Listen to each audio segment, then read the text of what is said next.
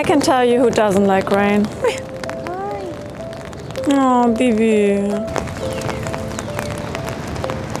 I love rain in New York under one condition. If it's warm, it's quite nice. It is quite warm, so it's really a little bit like not summer rain, that would be exaggerated, but a little nice spring rain. And what I really like is that the city is just so empty. People don't come out when it rains. We're at Washington Square Park and we're pretty much the only people here. Look at these trees. Come on. Like good old AG times. Where are we going? We're getting coffee. Baru. You don't like the rain. You're a good weather dog. she also doesn't like the umbrella. okay, Rue, I tried. Look, she doesn't want to continue walk. Babes, you gotta use the toilet. Come on, toilet.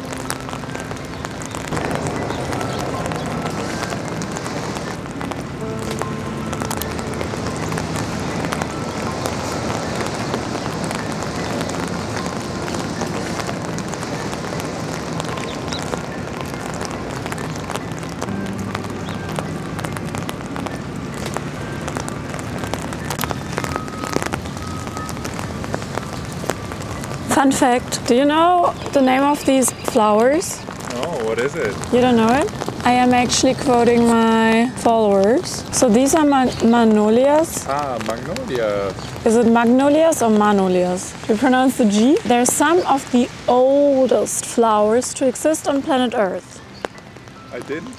They were around when the dinosaurs were around. No way.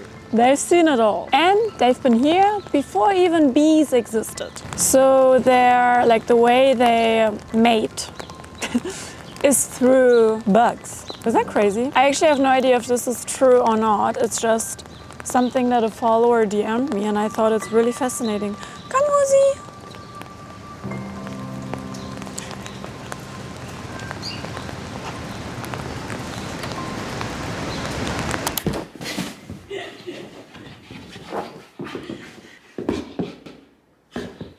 Here, watch this.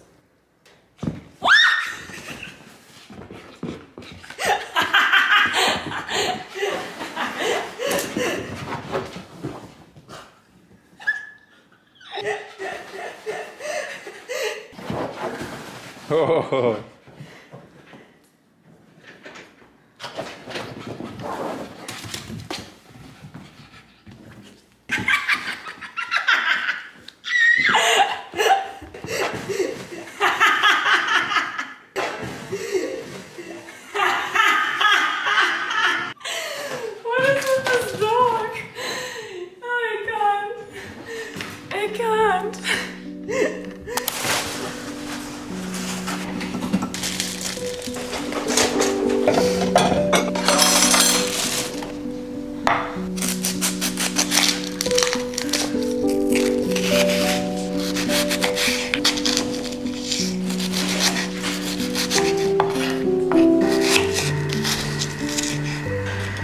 So right now my mom is in town. She got here yesterday. No, the day before. And it was just her 71st birthday. I'm not allowed to say this, so it's our little secret. And every year for her birthday, I treat her on a trip. So this time she really wanted to go to Miami. And I was like, you got it. So tomorrow we're going to Miami, which I'm really excited about. One of my goals in life is to give my parents anything they want. Like anything. Like, I want to buy them homes. You know what I'm saying? So I want to work very hard and just buy my family and my friends anything they want. I love spoiling other people. It's the best. Like, I love spoiling my mom. And I feel like she's like the child because she gets so happy about anything. Even like going out for dinner, she's so happy. And like overall, her energy is so wild. Like, it's just so happy. I'm like, wow, mom. You know, there's this thing that when you grow older and you experience some stuff, you kinda lose that like youthful joy, but not her, okay? Not her. She is like a little joyful child, which makes me very happy because I don't want to lose my inner joyful child. And when I see my mom, I'm like, wow, she's got it. If you don't want to, you don't have to ever lose it. My God, she's so excited about anything. I was like, mom, your energy is so great. And she's like, my energy is always great. I'm like, mm-mm, not always but almost. I think it's really funny how the older we get, the more we become like our parents, which is a very, very weird thing. Like my mom and I, we have so many things in common. For example, we both forget bad things. Like we just forget it. For example, if somebody wronged me, I forget that they wronged me. So I have to literally like write down what happened. And also my best friends, they're like there to remind me. It's also funny with our memory. Oh my God, I wanted to tell this to you guys. Remember in the last video I was like, mm, you know, 2021 was my year. I was thriving, blah, blah, blah. And then I read old journey entries, and that wasn't the case. I was pretty much writing about not the same, same, but like a lot of similar thoughts and experiences. And I was like, wait a minute, wait a minute. And this is why journaling is so valuable because our brains fool us, uh, okay? Like our brains are trick masters. Like, you know, my narrative is 2021 was a good year, 2022 a bit less, and 2023 was a really difficult year. Yes, it was difficult, but I think we need to stop judging years by whether they were good or bad, because I think every year has good and bad. And sure, some years are more difficult than others, but it doesn't mean that the whole year is shit. You know what I mean? I think it's more moments. Like it's a continuous dance between light and difficult, happy and sad, and it's all part of the same medal. It's all connected, okay? One cannot exist without the other. Like you cannot say you had a good year and saying that you were so happy that year. Like sure, you can have a good year, but it doesn't mean that it was only good or that if you had a difficult year that it was only bad, you know? We need to like judge less, maybe? I don't know. Okay, look at this. I'm gonna have onions with tomatoes. Yum.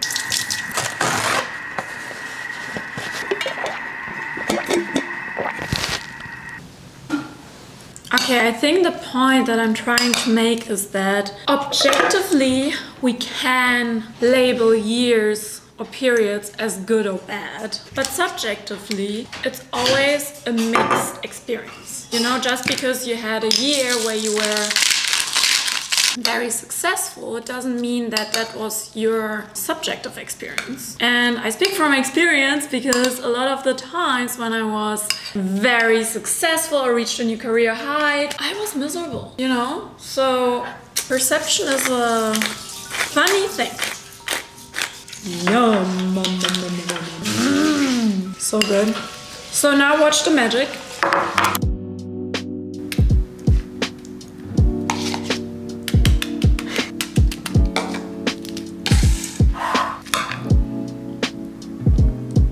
A new creation.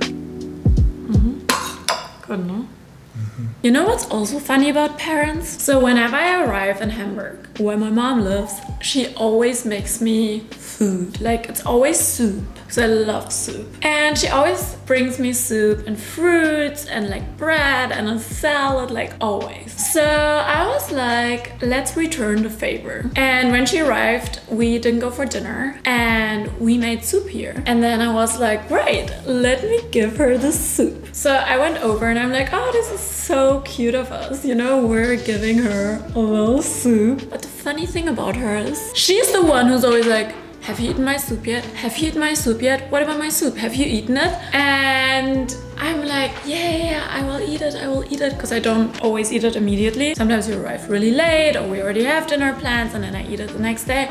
But she's always like inquiring about the soup. And now she doesn't eat her soup. Which, uh, why? We put so much effort into that soup. Jürgen, don't you think it's funny how our parents are like Yeah, and also funny? each time she does it for you, I'm like, yeah, okay, but like sometimes you relax. cannot eat the fruits immediately. But then if you do it yourself, you get disappointed. Yeah, now now we're on the other side and now we understand. Look, guys, I made myself a porridge. Mmm, mm, so good. Why don't you say that this porridge looks really nice? You're not a fan of porridge, right? It's okay. I like porridge. I yeah. like savory food, and I think I want to start a petition because, in my humble opinion, there's not enough savory food options. Because wherever you go, it's always sweet. And I don't love pastries. I'm sorry. Unpopular opinion, but I don't want to eat a croissant or I don't want to eat a muffin. I just want to have a good, like, cheesy something. Cheesy toast. I mean, I love a good croissant or like a pain au chocolat, but I'm more. I like fruits and oatmeal. that makes sense. There was a time when I liked Greek yogurt too, but like now it's more refined. I want onions. I want onions. I want garlic. I want olive oil. I want salt, salt, salt, pepper. That's what I want. Anyway, I'm going to the hairdresser. I cut my hair, and you know what? I love it, but I always forget how annoying styling is with short hair. Always forget. Anyway, see you in Brooklyn.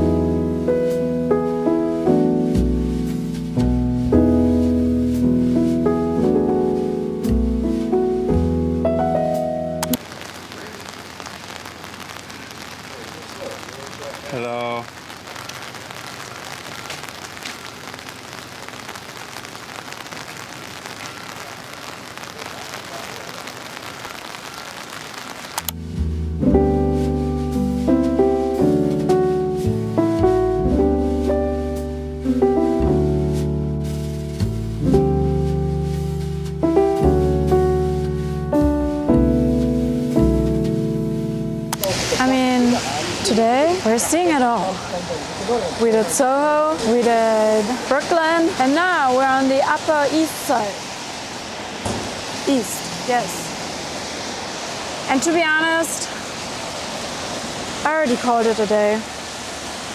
You know, I feel like I'm pretty good with like rain, like the first half of the day, and then when there's like no stopping, I can't keep up anymore. Also, these Celine rain boots, they're not really rain boots because my feet are wet. What the hell, Celine? Do better than this. I'm really, really disappointed because my feet are wet and that puts me in a weird mood. I feel like a little fish. But um, I just wanted to show you guys how beautiful it is here.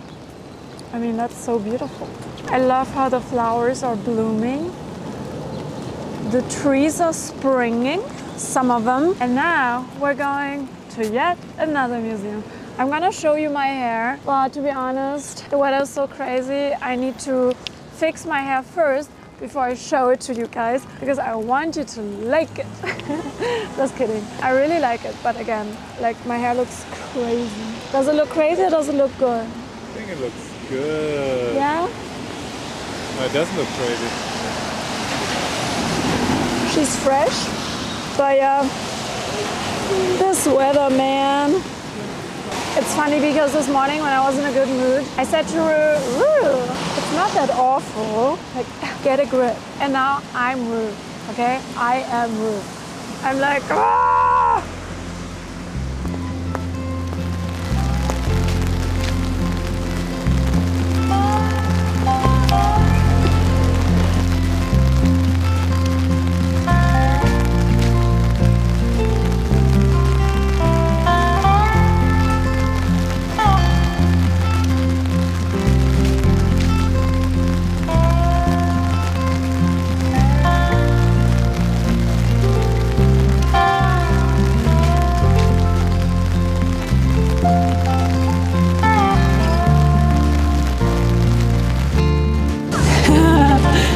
wanted to say the way I see it, there's worse things in life than rain.